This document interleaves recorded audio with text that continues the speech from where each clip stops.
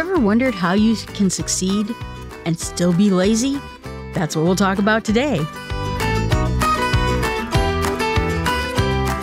Last time we talked about the book, The Lazy Genius Way. Today we're going to continue that conversation because her book is great. And I hope that this podcast encourages you to read this book if you're looking for ways to make your life easier. She's got a great sense of humor, and I really love her attitude. She says, Lazy genius principle number four live in the season. And that just means what we talked about in the podcast episode about seasons in general. There's a time and place for everything. You think about what matters. You know, like right now, the economy's kind of iffy. So maybe there are some choices. Like, I would love to buy a new car. This is not the season for it. We have to get out of this time of inflation. And there's seasons where it's great to find a job, or there's seasons that it's great to travel some and get a little bit more enjoyment out of life. There's a season for everything. And we talked about the seasons in episode 91 of this podcast that came out on September 12th of 2022. And she talks about it, you know, when there's a right time and a wrong time to do certain things. She talked about it, you know, time to have more kids or times that maybe having children was over. And there are places where you have to give yourself a break about when it comes time to seasons. That again, sometimes it's easier to get things done, it's easier to do things in the right season, and there's times when it's harder. So you have to figure out what season you're in in order to make your life easier. And what she talks about that I didn't mention is when it's easy to give up on something because it's just not the right season. She said that you can struggle through something, and if it's not the right season, again, for you, it might be the right season for somebody else to get something done but it may not work for you. So you have to decide what season you're in and where you're at for certain things. And again, if you're having a time where it's easy for you to do one thing, then do that thing. Where she says into this whole all or nothing situation. And it's not like that at all. Sometimes we're feeling good and we're ready to take on new challenges. And some days we just want a snack and a cup of hot cocoa and we want to sit under a blanket. It's okay don't have to think about doing all the things all the time. She says in the end that we are still us, that we're still that person who has to do things our way. And if you're having a hard season, if you're wishing things would be different, you know, sometimes they're not different. There were a lot of people in the pandemic who lost friends, who lost all sorts of things, and they just wanted it to end. And it just was not the season for it to end. Sometimes we just have to do things in that season. And it's not always going to be whatever's happening right now. Things change. And so you have to give it that time so that you have the ability to let it change. And she says that God has a plan and he doesn't give you what you can't handle. So make sure that you live in that season. And she says, quote, Living in your season means letting your frustrations breathe, but not be in charge. That's where it makes all the difference. You can be frustrated that you can't do something right now because maybe inflation is just too high. But that doesn't mean you don't have to despair. That doesn't mean you have to shut everything else out of your life. Again, I'm living more frugally right now because inflation is so high. This isn't the time for me to get a new car. This isn't a time for me to go on a big vacation but I'm doing other things like starting podcasts every week because they don't cost me anything but time. She brings up Do the Next Right Thing. There's another fantastic podcast, and she's friends with that podcaster, Emily P. Freeman. That is another really good podcast. It's short, it gives you a really great piece of advice, but even the attitude do the next right thing. Sometimes you know what that next right thing is, and you'll have to not get caught up in all the emotions of all the things that you're trying to do. I feel like at some point, the next right thing, the lazy genius, and small steps podcast should just get together and be podcast friends because we're all complementary to what we're talking about. We need to do the next right step, whatever that next thing is. So I have some next right steps for me. And there's going to be different next right steps for you, depending on what season you're in, depending what struggles you have, or depending on what advantages you have right now. but make sure that you do that next right thing. Most of the times when I get stuck in life, I remember that. Do the next right thing. And I try to think about what that is. That one statement has meant more to me than almost anything else out there beyond start with small steps. She says, quote, being a lazy genius doesn't mean loving every season. It means welcoming each one kindly and letting it teach you something. What a great attitude that is. Principle number five build the right routines. That means systems. She talks a lot about how we are trying to walk away from all of this with the systems. And she said that routines are not a destination, it's a way of getting ourselves someplace. I told you in the past that I didn't like routines. I didn't want to drive home the same way every day after work. I didn't want to do the same thing. I felt like it was going to make my life boring if I just did the same thing every day.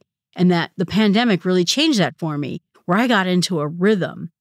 Do I feel like I'm boring now? Do I feel like this routine that I've picked up has made my life worse? And in fact, it hasn't. What it means is I got very good at this routine of how I do things. So now I can get to other things much quicker. I made boring things that I don't like doing, like the laundry, like cleaning my kitchen, and including exercise, made those things so much easier that now I can get back to my things that I love doing faster than ever. And she said that making a routine means that it's something that you can repeat. That means that something that you can be more consistent with. And it means that it's something that you're not going to have to think about. You're going to build small steps, you're going to put them in order. She says that we should, quote, make your first step stand alone. She invokes the book, The One Thing, which is a fantastic book by Gary Keller and Jay Papasan. It means that what is the one thing that was the most important thing, and that if you do it, everything else will be easier. And we talked about this in episode two of this podcast. But when you're trying to find that single action, and if you can get that done and make it a routine, make it part of every day of your life, everything else in your life is going to be better. And so it is for me too. I've found a routine where I can clean my kitchen. I found a routine where I can exercise every day. I'm not saying that it's been easy, but using all of these tips of making it small, making it known what I really need to get done, made it much easier for me then to build a routine around those things. Lazy genius principle number six is she says set house rules. The thing that you have to remember is that this has to be rules again for you. If you don't hear any other message out of this book when it comes to small steps or routines or doing the next right thing, make sure you hear for you. This is not a book that's going to tell you what to do, tell you what's important, tell you how you should get it done. It's going to tell you to dig deep and to find out what matters the most to you. We all get triggered by different things. Believe it or not, I get so stressed out about money all the time. Money is the one thing that just takes me down. And I wish it wasn't that way. But I could look at it more methodically, and I tried to do it so but I know that it's a tender thing for me. So I have to have rules when it comes to money. I came up with rules that I must fill my rings every day on my Apple Watch so that I at least get a little bit of exercise every day. And I just don't sit there on my chair all day long because I love sitting and all my hobbies knitting, podcasting, working, watching TV, reading books, all sitting. So, having a reminder to stand up every once in a while and shake out the ankles a bit is important. I take the trash out every Sunday. I listen to the NosillaCast live show, which is at 7 o'clock Central Time. And between dinner and the live show, I take out the trash, I clean up my kitchen, and I reset everything for the next work week so that everything's in where it needs to be so I can go to work. I mean, I do have my own rules, and those rules make everything else easier for me. I also created a rule where all clothes have to get put away before bed after laundry time. And the reason for that is because I just don't want to look like a big wrinkled mess all the time. I enjoy looking like a big wrinkled mess all the time. it's again, I'm not a fashion person to, per se, and I can look real slobby if I want to. But because I don't want to look like a mess at work or places I go, every piece of laundry must get put away on Sundays when I do my laundry right before bed. Lazy genius principle number seven put everything in its place. She says that the problem is that when we have too much stuff around, it may not be that we actually have too much stuff.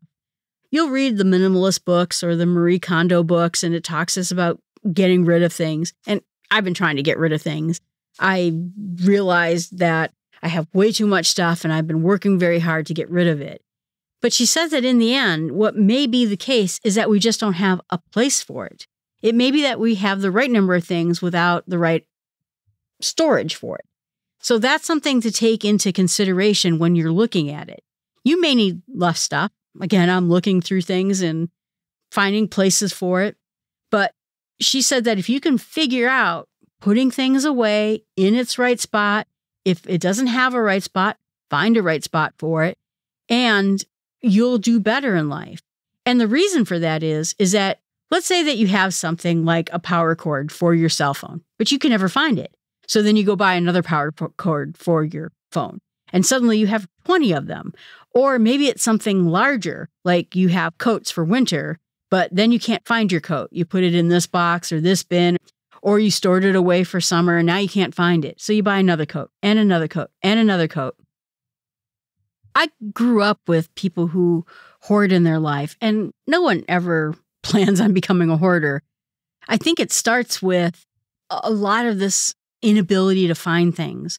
So a few years ago, I started a project where I took everything in my house and found a home for it, cleaned out junk I don't use anymore, and then found a home.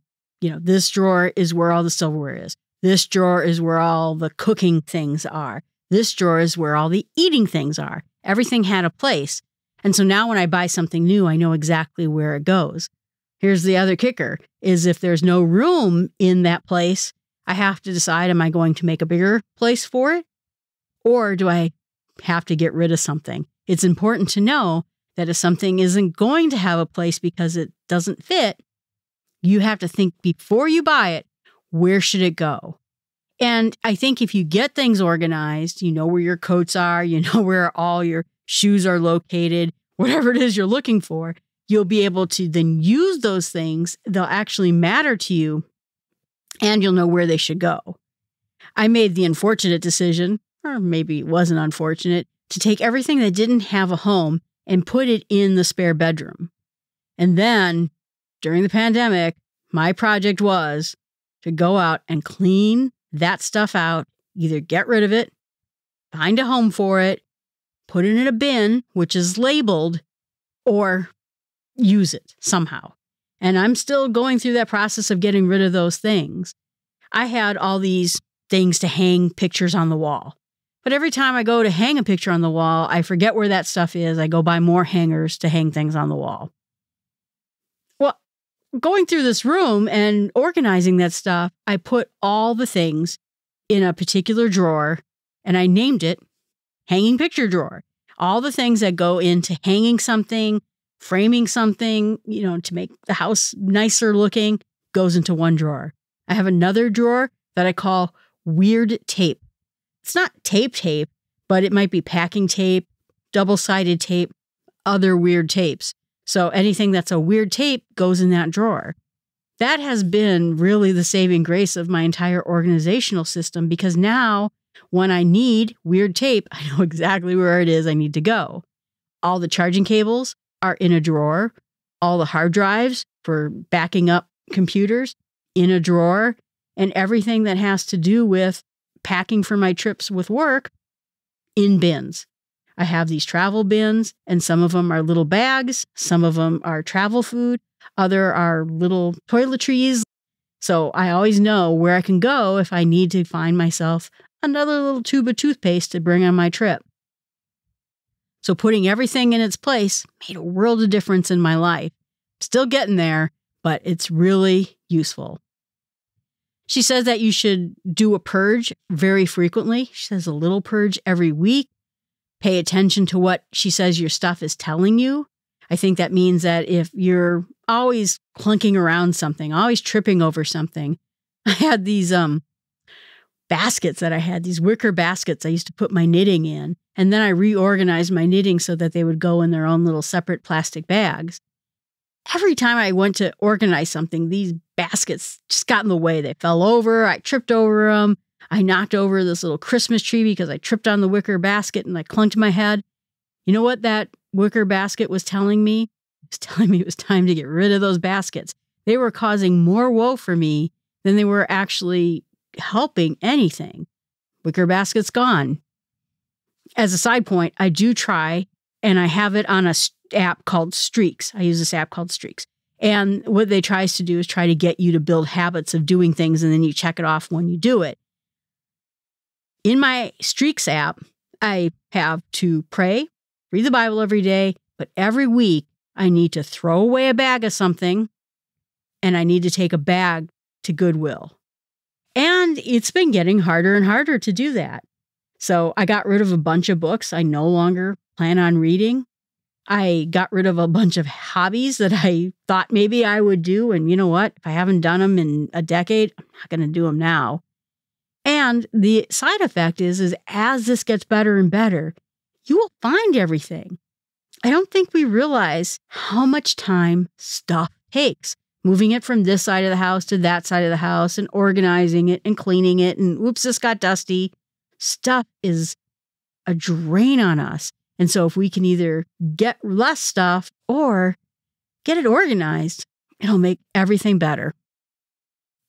One important lesson to me in all of this, and I think it was a message I learned from growing up in a place where there was a lot of hoarding going on, was just to throw trash out.